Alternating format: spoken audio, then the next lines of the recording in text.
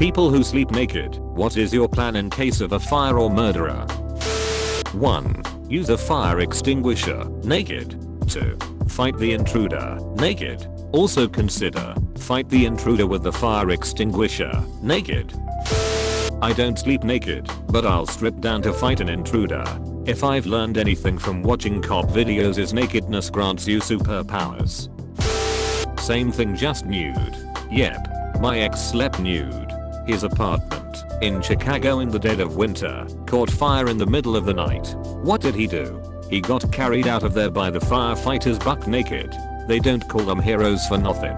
P.S. X was fine. Still sleeps nude a fake.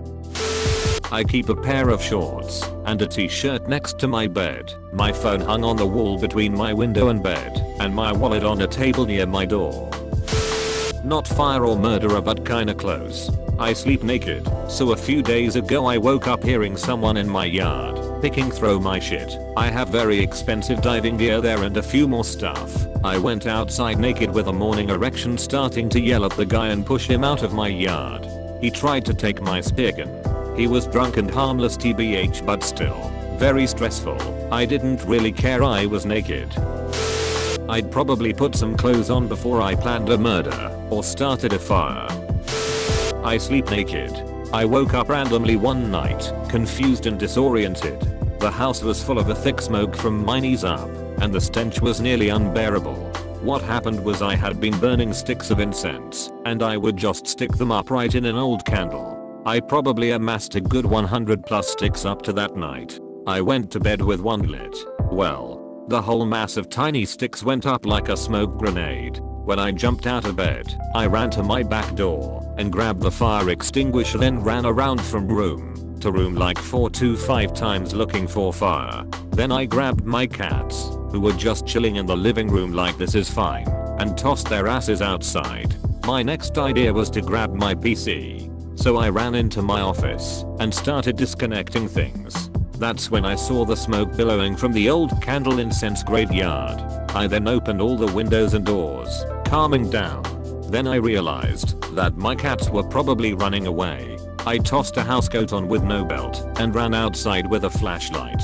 I probably looked like a fucking nutcase outside with my junk hanging out, waving a flashlight, loudly going PST PST PST PST PST at 2am, with a Snoop Dogg amount of smoke coming out of every hole in my house. I spent the next several hours waving a large Rubbermaid container lid around in every room to dissipate the smoke before the wife got home from work. The answer is that I have no plan. Edit. I found my cat's lol. Everything is okay. Intensely stare at whatever the threat is and assert dominance. You. It's just you and me now. Fire. Crackle. This happened to me years ago when I was still a student living in Dix close to varsity. Early one morning, my now wife was woken by movement in the bedroom. There was an intruder who had climbed in through a sash window and was rifling through her handbag. She let out an almighty scream, and she was an opera student, so she really could scream. I woke up to see intruder's backside exiting through the window, so I jumped out of bed and gave chase. I was damn close to catching him, but he ducked down into the railway line reserve at the end of the street. It was here that my feet really started to get hurt on shards of broken glass, so I had to stop my chase then I realized that I was completely naked. The 200 meters walk down the street was interesting. Everyone had come out to see what the fuss was about and saw this breathless naked young student sauntering down the road. I decided to just brazen it out and not put my embarrassment on display, so I just strolled along till I got home. I earned legend points that morning. It also helped that I was in really good physical condition. But in the heat of that fight or flight adrenaline charge moment, the last thing I thought about was my clothes. Thanks for my first gold, kind stranger. If someone breaks into your home, just use your natural nunchucks. Nunchucks. My husband and I are in our 40s, and we have lived life. My body shows the signs of childbirth, weight loss, surgeries, and extended breastfeeding. Despite this, I sleep nude. My husband leaves for work no later than 4am. He is a marine, and is stickler about this. One morning our security system goes off at 4.30. I see the time and know it can't be him. I immediately think of our 10 year old daughter sleeping down the hall. I unlock the gun safe as quickly as possible, grab a pistol and a small machete. I run out, both pointed up at the ceiling, not going to aim at anything unless I know I'm going to 100% shoot. I full on run into our living room. I feel all the things of my body flapping. I do not care. I'm going to protect our daughter and pets. There is lots of screaming. Who's in danger? Who do I stab slash shoot? Let me at back quote M. Once everything is in focus, I instantly see that it is my husband that had set off the alarm. He had forgotten his security pass for work. The screaming was from our daughter. She had woken up when he was getting ready for work and fallen back asleep on the couch. She said the alarm going off was less terrifying than seeing her armed, bed-headed, nude, floppy-skinned mother running out of the room with mother bear type of murder written all over my face.